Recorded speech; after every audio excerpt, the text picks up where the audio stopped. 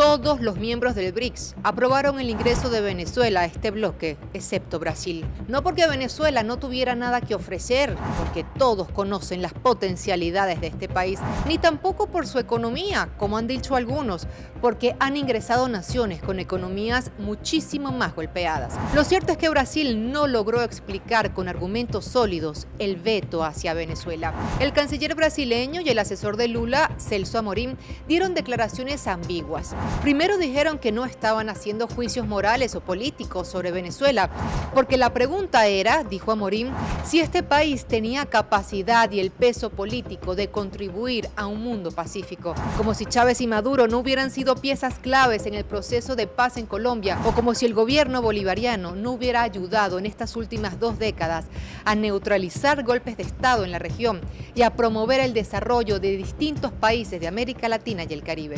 Luego la delegación brasileña dijo que estaban preocupados por los derechos humanos y después dijeron que fue por abuso de confianza del gobierno venezolano por no haberles mostrado las actas de las elecciones presidenciales. Abuso de confianza es pretender y respetar la soberanía de un país, un acto que además es una clara violación a los principios del BRICS.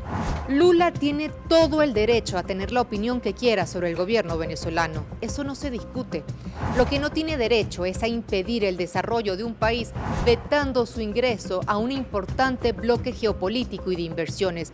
Porque con su ingreso al BRICS, Venezuela pudiera superar el bloqueo de Estados Unidos y acceder al financiamiento, entre otras cosas, para la industria eléctrica, un sector muy afectado por el bloqueo y al que desde el año 2017 aproximadamente no se le han podido hacer las grandes inversiones que necesita por el robo de activos a la nación y por el bloqueo estadounidense que le ha impedido a Venezuela acceder al financiamiento multilateral. Este veto de Brasil también le impide a Venezuela acceder a un nuevo mecanismo de cobro de sus exportaciones y para la compra de materias primas y bienes.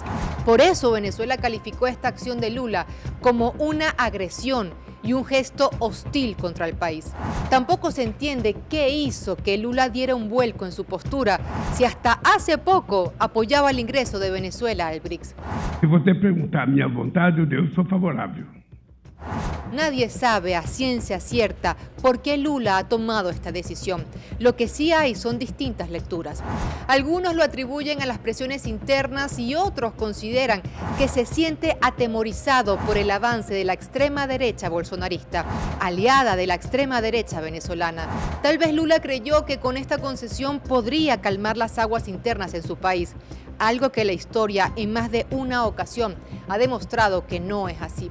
Otros analistas apuntan que Estados Unidos habría ejercido una gran presión sobre Lula, porque para Washington sería inaceptable que Venezuela, que tiene las mayores reservas certificadas de petróleo del mundo, ingrese al BRICS, donde están los gobiernos que Estados Unidos considera sus enemigos.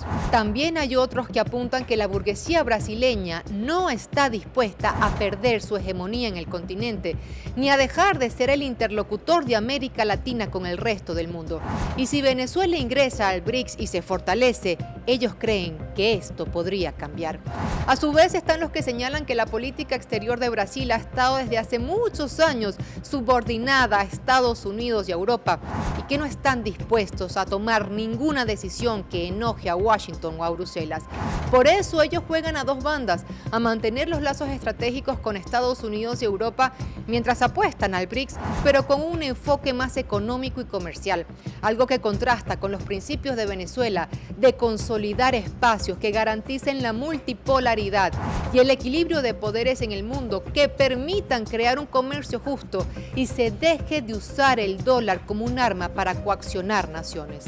Esta negativa sin argumentos del presidente Lula de vetar por el momento a Venezuela ha generado muchas críticas internas en Brasil.